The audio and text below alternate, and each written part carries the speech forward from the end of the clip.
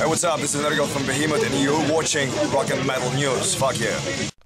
Hey guys, this is Ron from YouTube's Rock and Metal News with a Rock and Metal News update. Deadlock have released a new track and music video. It's from their new upcoming album called Hybris. The song is titled Backstory Wound. The album was out on July the 8th through Napalm Records. You can take a listen in the link in the description and see the new album artwork as well in the description of the video.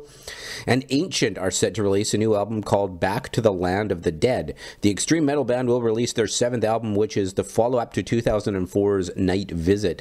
The album is out on September the 16th in North America through Megadeth bassist David Ellefson's label EMP Underground EMP Label Group and in the rest of the world by Soulseller Records. Check out the first new track called Land of the Dead on their Bandcamp page. The link is in the description.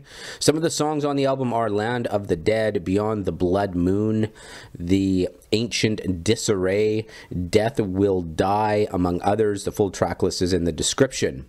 And the band Hatriot have released a demo version of their new track called Carnival of Execution. This uh, is their first song recorded without former vocalist Steve Zetro Souza. The song features Zetro's son Cody Souza on vocals. Take a listen in the link in the description.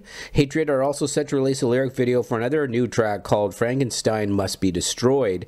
And in uh, 2016, they will hit Trident Studios with producer Juan Urteaga to begin recording their third album. Zetro will be the producer and will help out lyrically, so stay tuned for that. This is Ron from YouTube's Rock and Metal News. Thanks for tuning in.